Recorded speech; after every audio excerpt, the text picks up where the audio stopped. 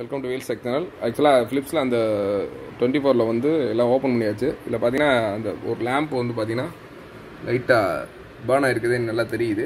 அந்த அதை தான் கிளியராக காமிக்கிறோம்.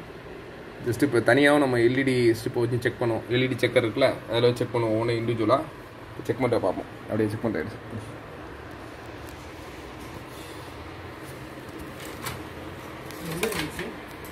இந்த கீழே காமிச்சிருங்க.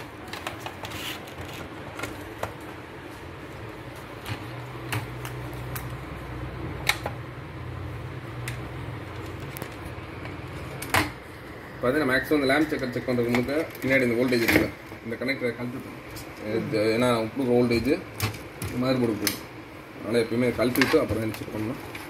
கழட்டிட்டோம். இந்த இருக்குல்ல just plus minus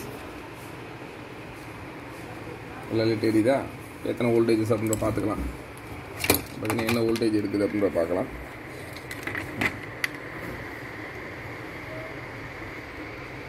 eighteen point fourteen volt அந்த ரேஞ்ச் இருக்குது. அப்போ ஒன்று ரெண்டு மூணு நாலு அஞ்சு. ஆக்சுவலாக த்ரீ வோல்ட் சரியா தெரியுதா உங்களுக்கு? தெரியுதா செக் பண்ணுறது செக்கர் தெரியுதா? தெரியுது சார் இப்போ அடுத்து ரெண்டாவது செக் பண்ணுறோம் ரெண்டாவது எரியவே இல்லை சுத்தமாக இப்போ இதுலேயும் பல்ப் போயிருக்கு. பார்த்தீங்கன்னா இங்கே வைக்கிறேன். எரியுதா?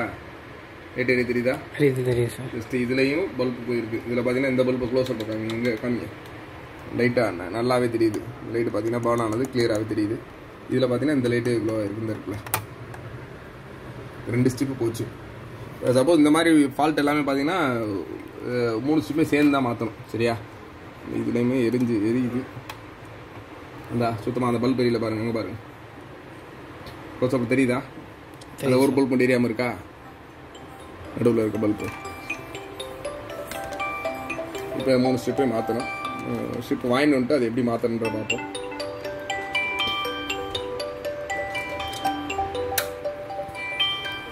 不能